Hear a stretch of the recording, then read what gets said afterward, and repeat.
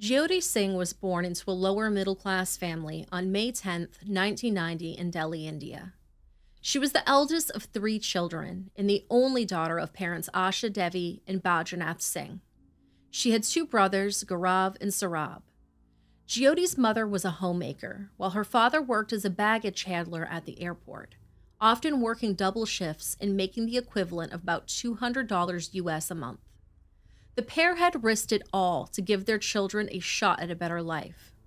Originally from a small village in the Ballia district within the state of Uttar Pradesh, the pair sold their plot of farmland in order to pay for their kids to go to school. That sacrifice wasn't without hardship. According to reports, the family lived in a small home down an alley in a neighborhood known as the Mahavir Enclave Part 2 in southwest Delhi. The area has been described in some publications as poor and made up of slum like dwellings. In a later interview, Badranath shared that as a child he dreamt of being a teacher, but sadly, like many children living in rural poverty, his family could not afford to send him off to college. He made a promise to himself that he would send his children to school as a way to fulfill his own desire for knowledge. When discussing Jyoti, he said, It never entered our hearts to ever discriminate. How could I be happy if my son is happy and my daughter isn't? It was impossible to refuse a little girl who loved going to school. According to the New York Times, the father sometimes referred to his daughter as Beta, a Hindi word for son. It seemed like the family sacrifice had paid off. Jyoti, now 22 years old, was a physiotherapy intern. During the evening, she worked at an IBM call center in order to help pay her way through college. Jyoti was described as just an ordinary girl. She enjoyed shopping, mainly for shoes, and she loved going to the movies. December 16th, 2012 could have been like any other night in South Delhi. It had been a relatively mild day in northern India, with temperatures ranging between 55 to 73 degrees Fahrenheit. On that fateful Sunday, Jyoti had tea with her family and then set off to meet a friend, Avindra Pratap Pandey, who worked as a software engineer. After going for a walk, the pair decided to watch the new Ang Lee film The Life of Pi at the PVR Cinema, located within the Select City Walk shopping center in Saket district. Jyoti really wanted to see it. Afterwards, the two hailed an auto rickshaw or tuk-tuk. The pair tried to get the driver to simply bring them to Jyoti's house, but he refused. Instead, they had the driver bring them to the Munirka bus stop, about a seven mile drive northwest. There, they hoped to find another way home. The pair were headed for Dwarka, a neighborhood located another 23 miles west past the Indira Gandhi International Airport. But sadly, these two would never reach their final destination. At 9:30 p.m., Jyoti and Avindra boarded a small white Yadav Travels bus after being told by a young passenger that the vehicle was headed towards Dwarka. They paid 10 rupees apiece and joined the other six men on board, which included the driver. These men, described as working class migrants, were already drunk. All seemed well and good until Avindra, who no doubt had made this trip before, noticed the bus was deviating from its normal path. The driver also locked the doors and switched off the interior lights. Vindra's gut told him that something was wrong. And he was right. When he spoke up, the six men, including the driver, began to harass the couple, asking what Jyoti and Avindra were doing out alone in the dark at such a late hour. The men exchanged words until eventually a physical altercation broke out on the still moving vehicle. Being outnumbered five to two, Avindra was quickly overtaken by the mob. According to reports, the man was gagged and beaten, subsequently being knocked unconscious with a rusted L shaped rod used as a wheeljack handle. Avindra later recalled that during the melee, he pounded on the windows of the van in an attempt to alert passing motorists to the attack that was taking place. With Avindra incapacitated, the men set their sights on 22 year old Jyoti.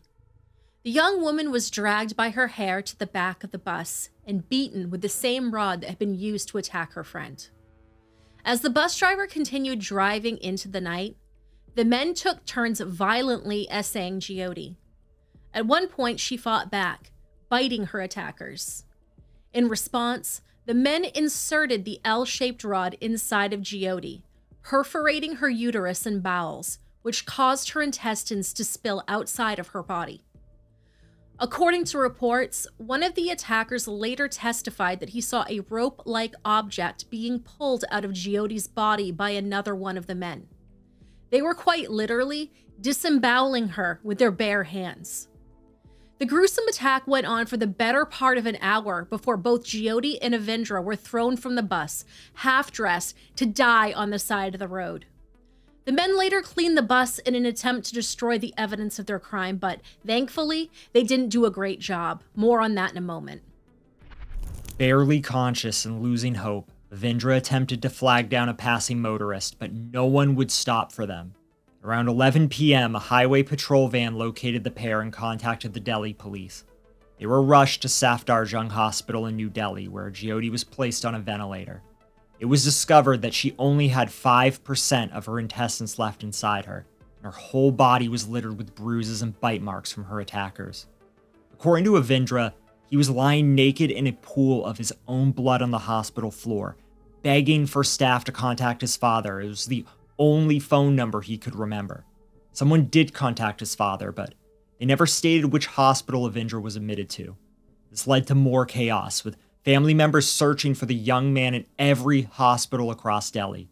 Avindra suffered from broken limbs and many superficial wounds, but thankfully he survived the attack. What Jyoti did next earned her the moniker Nirbhaya, meaning fearless. Conscious, she scribbled a note on a piece of paper and handed it to her doctors. It said, I want to survive. Jyoti clung desperately to life so that she could tell the tale of what happened to her. According to The Guardian, while she lay on her hospital bed, she told the police, and I quote, The conductor closed the doors of the bus. He closed the lights of the bus and came towards my friend and started abusing and beating him. They held his hands and held me and took me to the back of the bus. They tore my clothes and raped me in turns. They hit me with an iron and bit me on my entire body with their teeth. They took all belongings my mobile phone, purse, credit card, debit card, watches, etc.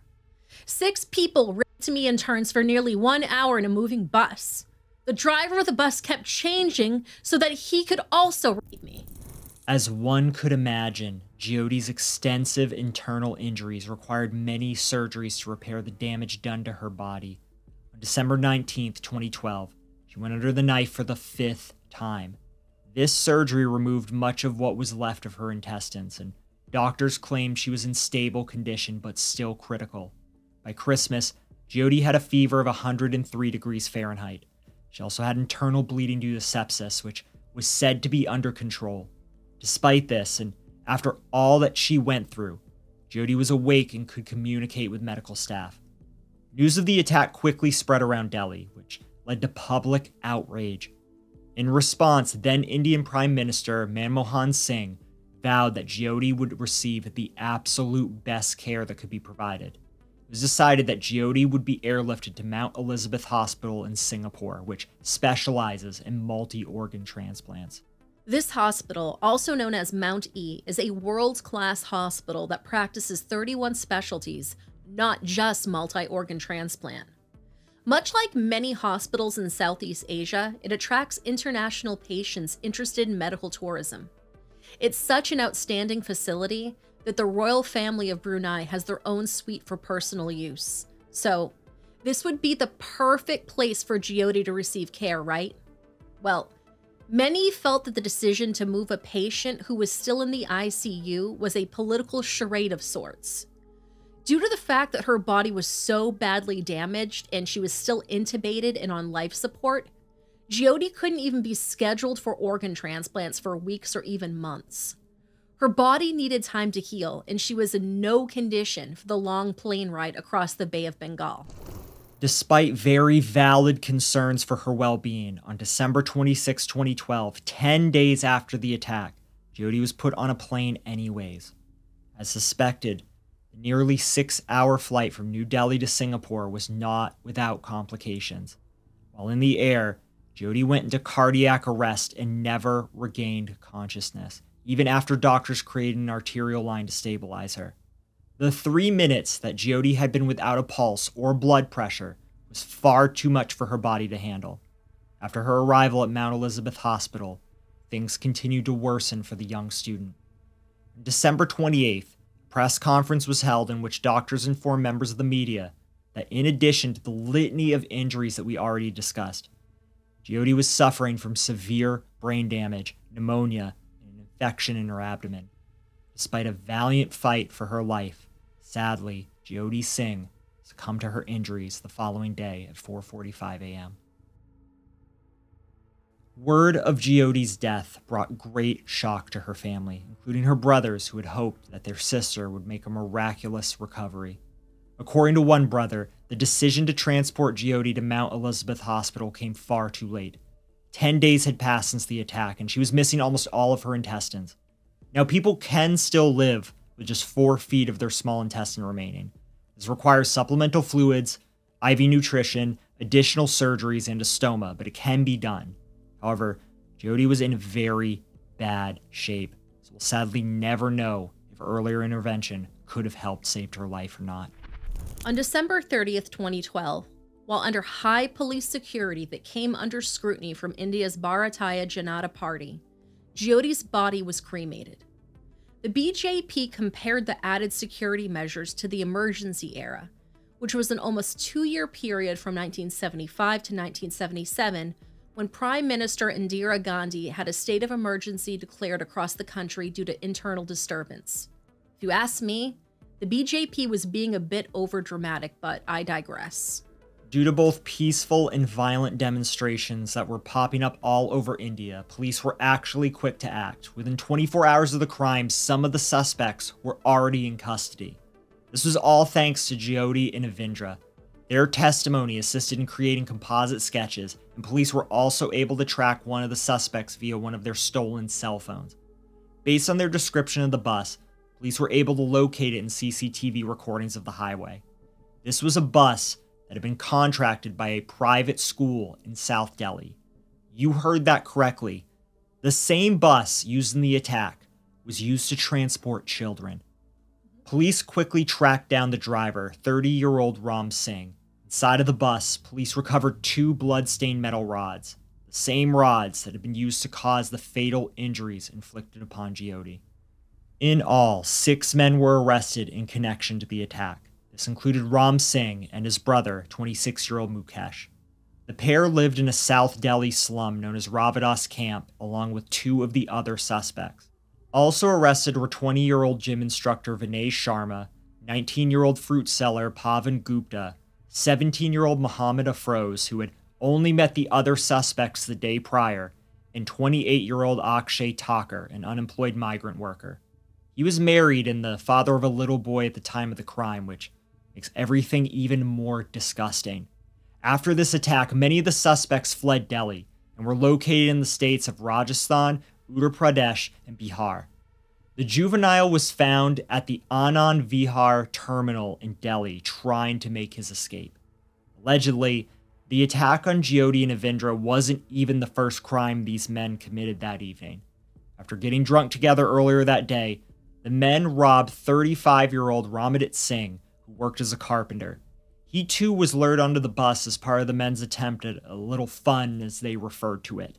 Mind you, Ram wasn't even allowed to pick up public passengers on his bus or even operate in the area because of the window tint. Just like he would hours later, the minor, Muhammad Afroz, lured the man onto the bus on the promise that it was going to his end destination. Instead, the men beat him up, stole his cell phone, 1500 rupees, and dumped him at the IIT flyover, which is an overpass in South Delhi. Now, this is where things get even more infuriating. The carpenter actually reported the incident to three police officers, referred to in reports as Kalesh, Ashok, and Sandeep. However, they refused to do anything about it because the actual scene of the crime wasn't within their jurisdiction. Had the officers actually done their jobs and made the call over to the correct police station, Jyoti might still be alive today. I want to stress that it wasn't even like these two stations were far from each other. They are literally seven minutes apart. The adult men were charged with destruction of evidence, kidnapping, SA, attempted homicide, and homicide on January 3, 2013. All denied the charges against them. Some claim that they were tortured by the police into making false confessions. On January 10th, their lawyers held a press conference in which they blamed the victims for their own attack, citing the fact that they were an unmarried couple using public transportation at night, something they felt they shouldn't have been doing. Attorney Manohar Lal Sharma specifically referred to Avindra as wholly responsible for the attack because, in his words, failed in his duty to protect the woman. He went on to state, quote, until today, I have not seen a single incident or example of rape with a respected lady. Even an underworld Don would not like to touch a girl without respect. Attorney A.P. Singh also made the following statement, which was featured in a documentary that we'll discuss a bit later. He said, quote, if my daughter or sister engaged in premarital activities and disgraced herself and allowed herself to lose face and character by doing such things, I would most certainly take this sort of sister or daughter to my farmhouse. And in front of my entire family, I would put petrol on her and set her alight. Thankfully, the courts had enough of the men and their defense team. On March 13th, they tacked on robbery for the incident with the carpenter to their laundry list of charges. One of the five adult men never made it to trial. The driver, 30 year old Ram Singh, who was described as a heavy drinker that often became violent, was found dead in his shared cell at 5:45 a.m. on March 11, 2013. He was found dangling from the ventilator shaft. Was unclear if he met his fate by his own hand or the hand of one of his three cellmates. This would be a reasonable assumption as his brother, Mukesh Singh, was assaulted by other inmates at the Tihar jail and had to be placed in solitary for his own safety. Due to the fact that he was not yet 18 at the time of the attack, Muhammad Afroz was tried as a juvenile. On August 31, 2013, he was convicted of SA and homicide. He was sentenced to three years in a reform facility with eight months' time served. After hearing the verdict, one of Jyoti's younger brothers, tried to attack him in the courtroom.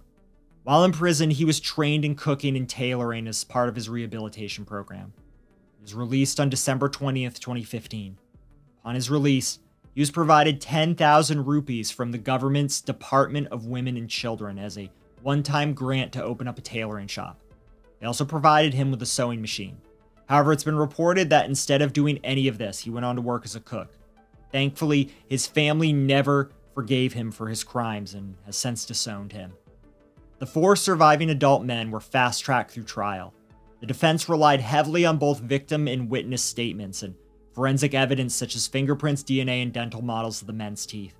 They rested their case on July 8, 2013.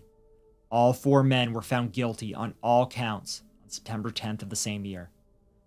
Three days later, they were sentenced to death by hanging. This no doubt satisfied Jyoti's father, who stated, and I quote, We will get complete closure only if all the accused are wiped off from the face of the earth. While awaiting his fate at the end of a rope, Mukesh Singh made disgusting comments about Jyoti from death row, blaming the young student for her own attack. He said, अगर कोई शरीफ लड़की होती है रात को नौ बजे मतलब नहीं घूमती है लड़के भी उतने उससे ज़्यादा जिम्मेदार है रेप के लिए ये लड़के हैं उससे ज़्यादा He went on to state that, quote, boy and girl are not equal. Housework and housekeeping is for girls, not roaming in discos and bars at night doing wrong things, wearing wrong clothes. About 20% of girls are good. But he didn't stop there. He just couldn't keep his fucking mouth shut. He continued, quote, When being raped, she shouldn't fight back. She should just be silent and allow the rape. Then they'd have dropped her off after doing her and only hit the boy. For the next seven years, the four men filed appeal after appeal and even pled for mercy to the President of India. It's all very long and drawn out, so we'll spare you the details, but thankfully, everything was rejected. Between January 17th and February 17th of 2020, four death warrants were issued. Finally, at 5:30 a.m. on March 20th, 2020, Mukesh Singh, Pavan Gupta, Vinay Sharma, and Akshay Thakur were blindfolded and put to death by hanging at the Tihar jail in New Delhi. Their gallows had been specifically designed to hang four people at once. They were pronounced dead a half hour later. In accordance with jail policy, The men were offered a last meal and new clothes prior to their execution, which they refused. Allegedly, Vinay Sharma began pleading with the guards for mercy as he was being led to his death. It's been reported that prior to their deaths, Mukesh Singh requested to donate his organs, and Vinay Sharma donated all of the paintings that he made while in custody to the jail superintendent. In the wake of Jyoti's death, both peaceful and violent protests broke out all over India, including outside of the home of the president. Demonstrators were beaten with batons, shot with water cannons, and gassed with tear gas shells. Some were arrested, including yoga guru Baba Ramdev and former Army Chief General Vijay Kumar Singh. To discourage assembly around Raisina Hill, which is similar to our Capitol Hill, police blocked roads and closed nine metro stations. This not only affected the demonstrators, but thousands of commuters that rely on public transportation to get around the city and to their jobs. The protests in India started a wave of protests all over South Asia, including demonstrations in Nepal, Sri Lanka, Bangladesh, Pakistan. Their purpose? To demand reform in legislation towards violence against women. According to the South Asia Analysis Group, New Delhi, where Jyoti was attacked and ultimately killed, has the highest number of instances of SA in any major city in India. On average, women in New Delhi experience an attack once every 18 hours.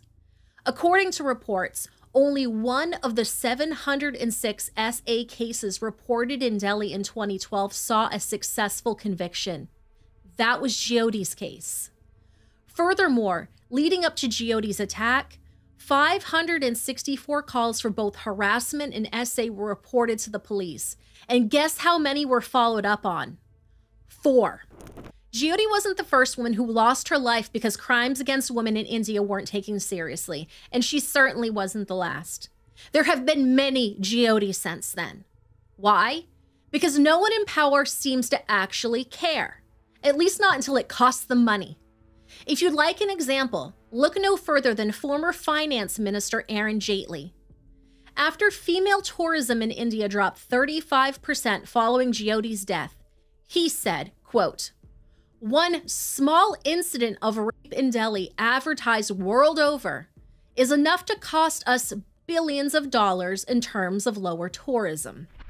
Jyoti's story has been depicted in various forms of media, including the BBC documentary film India's Daughter.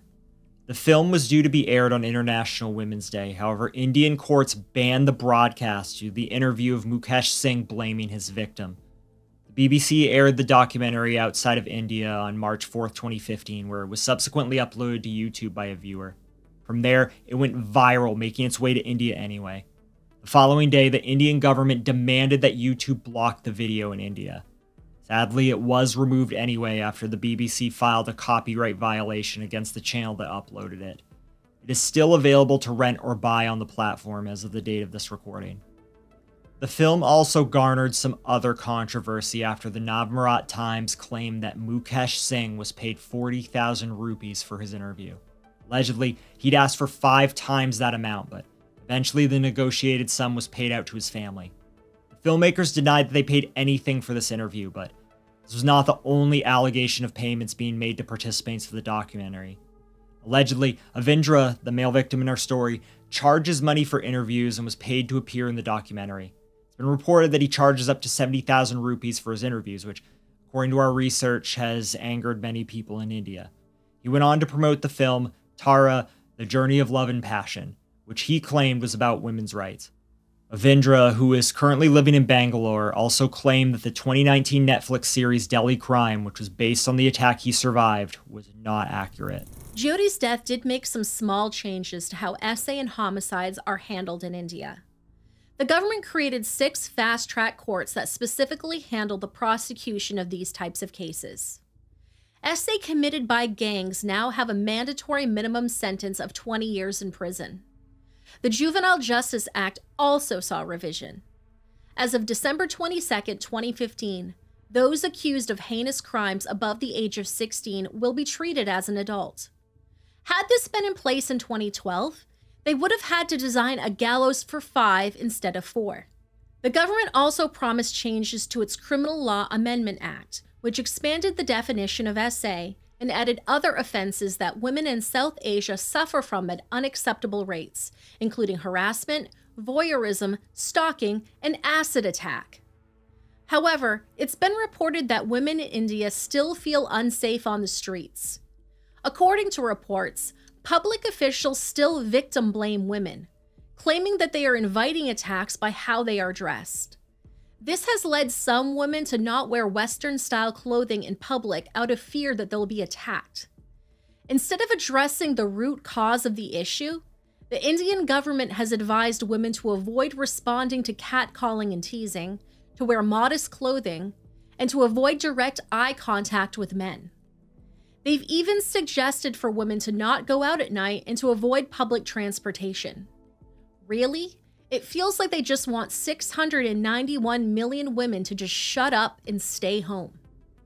In December of 2014, Jyoti's father claimed that the government failed to make good on their promises, and he regretted the fact that he had not been able to bring justice for his daughter and other women like her.